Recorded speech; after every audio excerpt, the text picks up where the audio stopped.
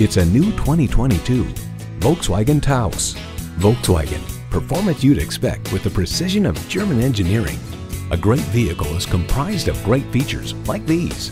Auto shift manual transmission, front heated bucket seats, streaming audio, manual tilting steering column, Wi-Fi hotspot, external memory control, aluminum wheels, inductive device charging, and intercooled turbo inline four-cylinder engine. You need to drive it to believe it. See it for yourself today.